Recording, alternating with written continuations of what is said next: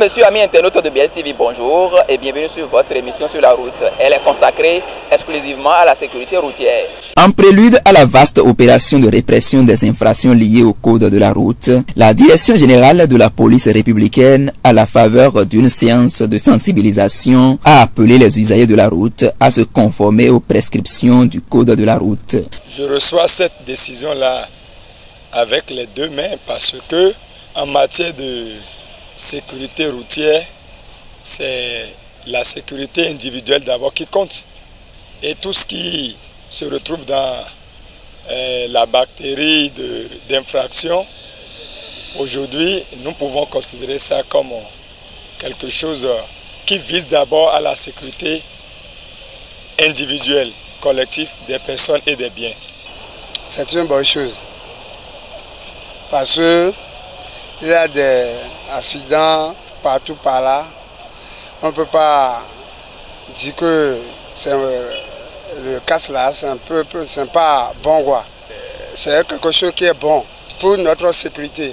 Je pense pour ma part qu'aujourd'hui, quand nous rentrons dans le trafic, on constate que les gens ne respectent plus les codes de circulation. Les, les, usagers ne respectent plus les codes de la route quand on parle de chaillements au gabarit, quand on parle de, de défaut de casse, le casse n'est pas porté à cause du policier. Et il n'y a pas une piste qui soit réservée pour un accident.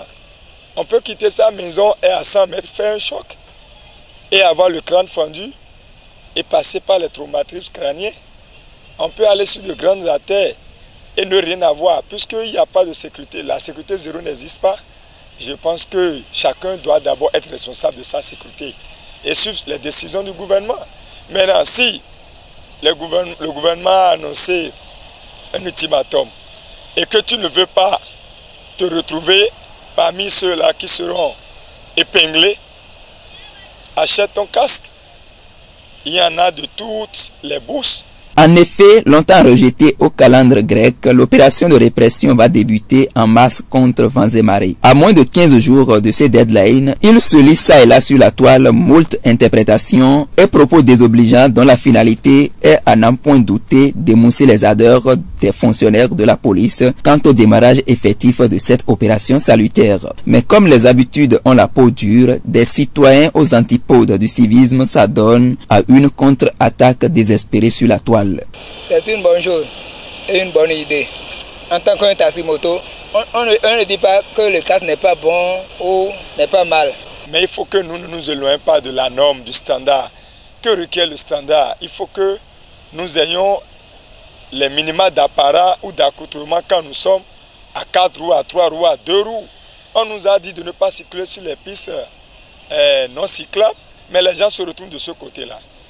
Vous imaginez qu'une moto se retrouve avec les véhicules, est-ce qu'il est en sécurité lui-même?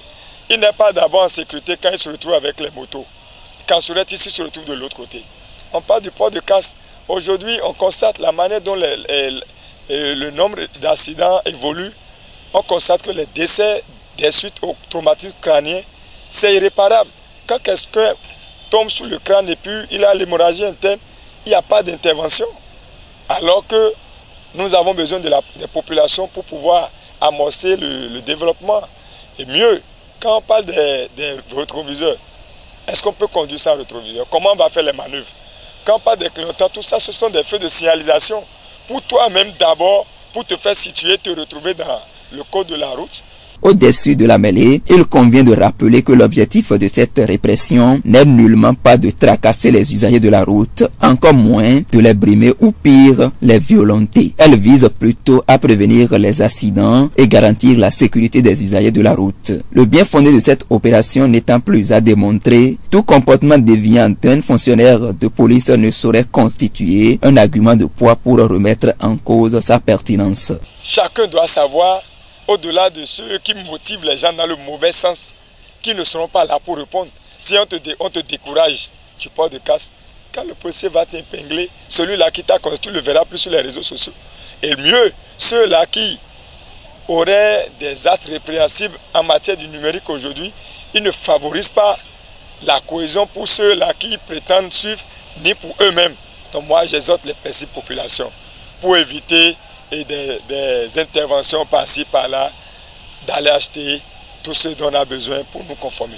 Maintenant, si nous nous conformons et que cela revêt maintenant de l'acharnement de la part du pouvoir central, là, le peuple sera quelle mesure apporter?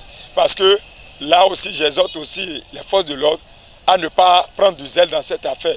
Pourquoi on ne demande pas aux gens ce qu'on ne peut pas avoir? Déjà, moi, sur les réseaux sociaux, j'ai vu tout cela. C'est pour un temps soit peu aller au-delà de, de la sensibilisation. La boîte à pharmacie, où est-ce que la boîte à pharmacie va se retrouver sur une moto? Donc que les gens, quand la population accepte déjà souffrir le martyr pour se conformer, que les forces de régulation de l'autorité publique n'arrivent pas encore à en rajouter pour eux. À l'option de jeter du discrédit sur les objectifs légitimes de celle-ci, il serait plus sage d'opter pour la dénonciation des acteurs déviants à leur structure de tutelle, notamment l'inspection technique de la police républicaine. Aussi convient-il d'exhorter les citoyens à se prêter sans résistance aux différents contrôles pour éviter des situations fâcheuses à la cabine de celles soulevées sur la toile ces derniers temps. De casque c'est une bonne chose et c'est obligatoire pour tout le monde et c'est bon pour notre sécurité, même notre santé. Moi, je viens de payer pour moi. J'aimerais conseiller d'autres personnes de, venir payer pour eux aussi. Un message à l'endroit des paisibles populations, c'est que chacun se conforme aux standards. Et dans la même dynamique, si, avec tout ce que l'État a fait, si l'État a les moyens, aujourd'hui, on a déjà homologué les casses, de pouvoir subventionner ces casses-là. Je suis au moins content qu'à un moment donné, ils ont laissé du temps pour l'ultimatum. Et qu'aujourd'hui, maintenant, nous sommes le 19 février, jusqu'au 1er mars, on a environ 14 jours encore. S'il faut que j'ai mon casque, de quel prix il faut que je m'arrête pour l'avoir? Si je dois avoir mes rétroviseurs, tout le monde sait ce que, combien ça coûte. Ça ne coûte pas les yeux de la tête quand il s'agit de notre sécurité. Il faut qu'on aille, il faut qu'on revienne à la maison aussi.